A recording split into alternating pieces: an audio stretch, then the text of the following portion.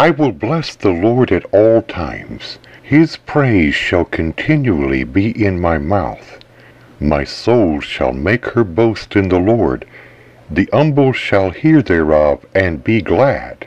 O magnify the Lord with me, and let us exalt his name together. I sought the Lord, and he heard me, and delivered me from all my fears.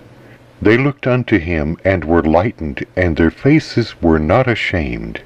This poor man cried, and the Lord heard him, and saved him out of all his troubles.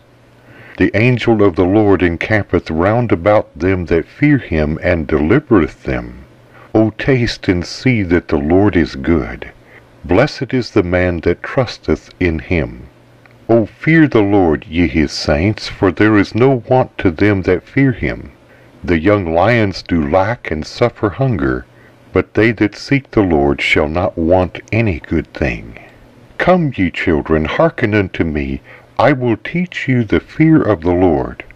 What man is he that desireth life, and loveth many days, that he may see good? Keep thy tongue from evil, and thy lips from speaking guile. Depart from evil and do good. Seek peace and pursue it. The eyes of the Lord are upon the righteous, and his ears are open unto their cry. The face of the Lord is against them that do evil, to cut off the remembrance of them from the earth. The righteous cry, and the Lord heareth, and delivereth them out of all their troubles. The Lord is nigh unto them that are of a broken heart, and saveth such as be of a contrite spirit. Many are the afflictions of the righteous, but the Lord delivereth him out of them all. He keepeth all his bones, not one of them is broken.